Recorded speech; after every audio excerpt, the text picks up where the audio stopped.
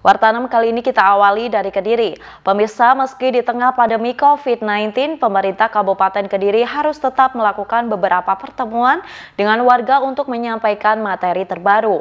Penerapan protokol kesehatan new normal harus diterapkan untuk meminimalisir penularan COVID-19.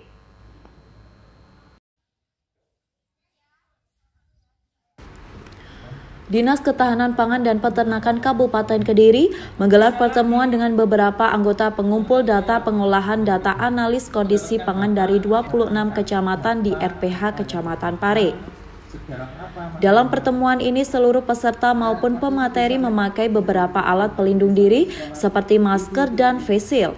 Tidak hanya itu, sebelum melakukan kegiatan peserta yang datang diwajibkan mencuci tangan serta dites suhu tubuh. Jarak antar peserta juga dibatasi. Pada pertemuan ini, peserta yang hadir merupakan anggota pengumpul data harga bahan pangan yang meliputi 23 komoditas pangan seperti sembako di setiap kecamatan. Selain menghimpun harga pangan di tingkat konsumen dan distributor, petugas ini juga melakukan pendataan stok pangan yang tersedia di wilayahnya. Menurut penanggung jawab kegiatan di saat situasi pandemi, petugas lapangan disarankan oleh BPS Badan Pusat Statistik untuk memanfaatkan alat telekomunikasi melakukan pengumpulan data karena kondisi di pasar masih sangat rentan penularan virus COVID-19. Ya, terima kasih karena menurut kami di tengah pandemi ini kita tidak boleh mati gaya, kita harus tetap bekerja dengan segala keterbatasan, tapi harus tetap mematuhi protokol kesehatan COVID-19.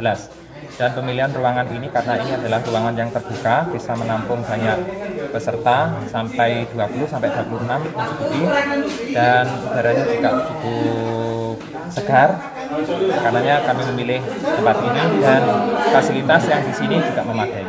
Untuk protokol kesehatannya yang diterapkan seperti apa Pak Arbai? Yang pertama seluruh peserta harus memakai masker, harus memakai masker. Kemudian begitu masuk cuci tangan dengan sabun, kemudian kita urus suhu badannya. Setelah itu baru diperkenankan untuk masuk dan kita siapkan sanitizer hand sanitizer untuk peserta yang mungkin di tengah kegiatan memerlukan itu.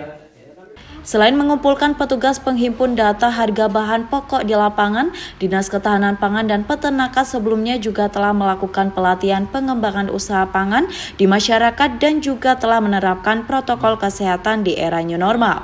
Dari Kediri, Andika Dwi, KSTV.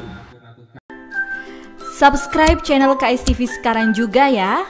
Dan klik lonceng biar nggak ketinggalan update video terkininya KSTV.